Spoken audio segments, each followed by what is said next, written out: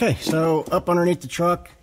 Uh, all right, so the first thing I need to do is I need to get the, the pan off. So what I'm going to do is pull pull all the bolts except for two on either side, and then I will just loosen up one side and then start to remove the other side and let that pan slowly angle down and uh, control the fluid coming out of it so I don't have a big mess. Okay, now I got the two bolts here and the two bolts here and I broke these two on this side loose and then we're gonna we're gonna try and control this as much as possible. Uh, I don't want to make a big mess underneath here. Yeah, that one was easy. Now, I'm gonna have to try and get this to break loose.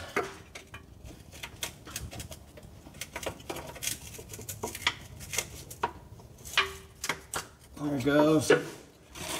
There it goes.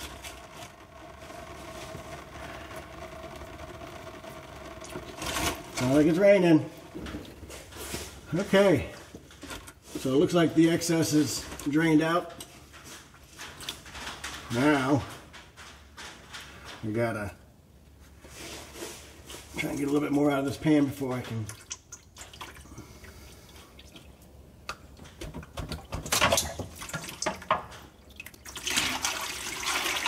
There we go. All right, let's take a look at what we got in the pan. Uh, I mean, wow. That's uh that's in really good shape. There's uh there's some stuff on here. Uh but wow the there's nothing hardly. We'll get this all cleaned up. And we're going to add a uh, drain plug to this as well. So uh, so next step we got to get this filter off so we can get to all the different uh, areas that we need to get to. I don't know, looks like some kind of Torx bit or something like that.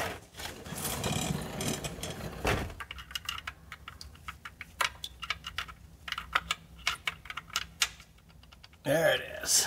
All right.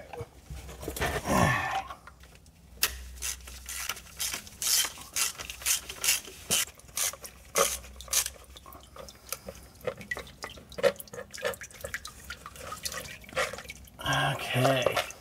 Uh, tried not to drop that in there, but I did it anyways. Okay, so let's go ahead and get the governor pressure uh, solenoid out of here. Looks like we've got four bolts uh, holding this on, so let's go ahead and get those out. All right, there it is. We just got to get the connector loose, and this bracket just comes off, set that aside. And now we've got to get this connector.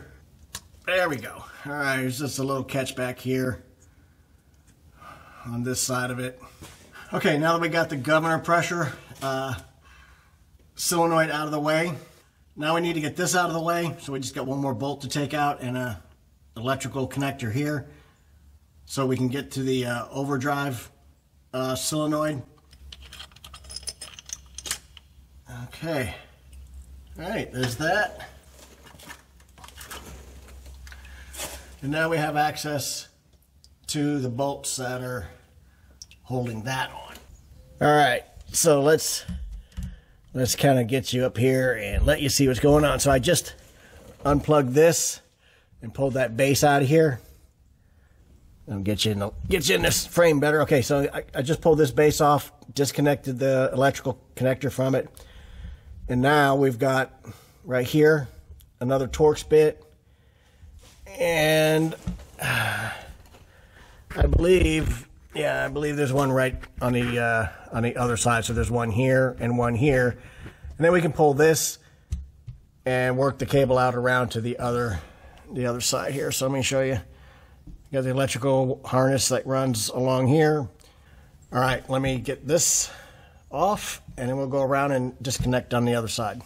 All right, just bring it back in real quick because I took the uh, screws out from either side, but there's also one right in the middle that right in the middle here that I did not see. So, all right, now we're on the other side, and you can see we've got the uh, um, overdrive sensor here, or solenoid, whichever it is, just kind of hanging. So now we got that, we can go ahead and get, there's, uh, again, these Torx bits, they're kind of everywhere on this thing. So it looks like uh, on either side, let me see if I can get you a better, there you go, on this side and this side. So I can see two, so we'll see if that's all there is. I said there was two, that's what I saw. So, okay, so there was the one right here. There's the one right there that I've already taken out. And then there's another one uh, right back up in there. So there's three on this. Straight above where this is at, all the way up in here on top, there's a uh, electrical connector. You just squeeze it and pulls off. And I got that off now up in here. So it's, it's off. You can kind of see it moving right there. And that connects to the other side of this up there. So this should just come off. Um, but there's also this spring. Let me see if I can, right in this area, there's a spring that goes through here. And we just need to be really careful of that, uh, that you don't damage that spring. Okay. So all I have to do now is grab this and just work it and pull it off. It's It's got a couple of O-rings that go through the top side of the transmission.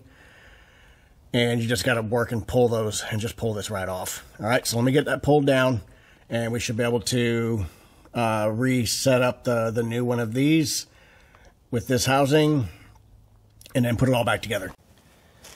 Okay, we're uh, over here at the bench. We got the uh, housing pulled down uh, and it broke on the way down. So trying to get this to pull out. This this here. Uh, let's see, would have gone like this. So this is how this would have been. Just like that. And You just got a screw here that comes off and then that comes off. And there's the two O-rings that I was talking about to pull that out through the uh, housing. And apparently it just didn't want to come and while I was jiggling it around it, it snapped then this came and then this was still up in there but so the next step here is going to be to take the new one and take our new part here and we're gonna go ahead and and get those on there. So let me go get the uh, Torx bit. So the next thing we'll do so we will get there. So there's a, uh, so just so you know, there's a little tab or a, a whatever right here, little pin. And then there's a little recess right here. And so just make sure that that gets in there and that keeps this lined up where it needs to be. There's that. Okay. So this is all back together now. We got the new uh, sensor on here. So overdrive sensor. So this is pretty much ready to go back in. Okay, so you can see the uh, spring I was talking about right there. So here, this spring, and it goes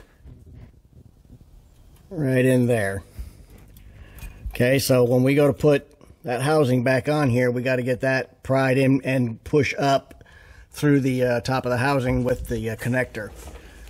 All right, it's going to be a little bit of a challenge, I suppose, but we should be able to get it. All right, let me get it in there. Okay, so as you can see, I have this bolted back in. I have my electrical plug up top plug back in.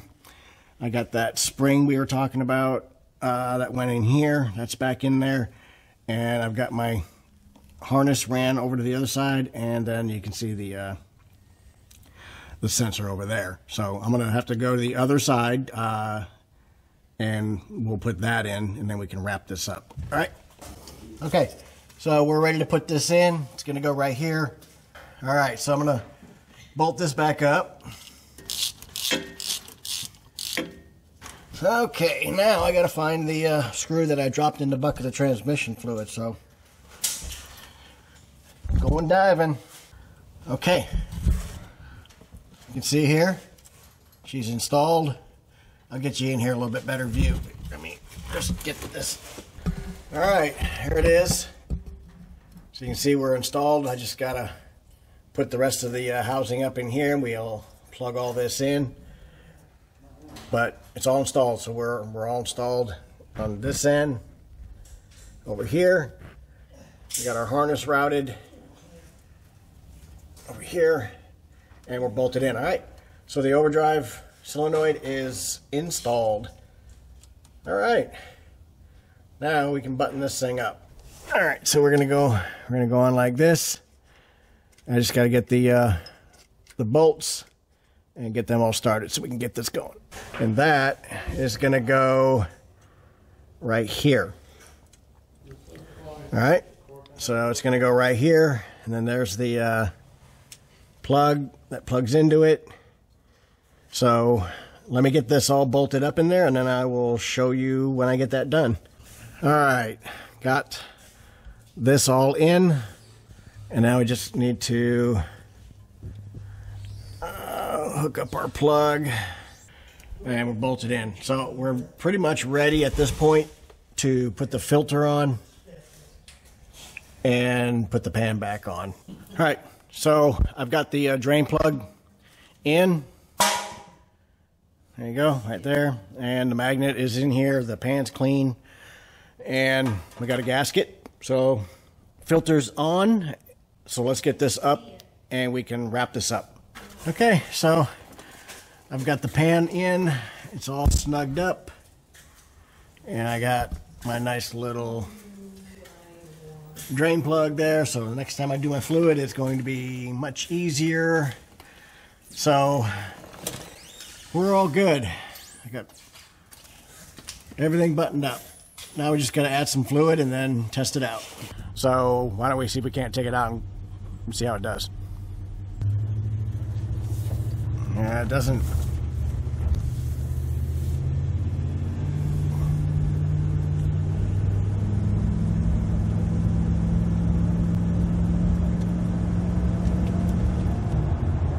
All right, so we got a good shift there and a good shift there.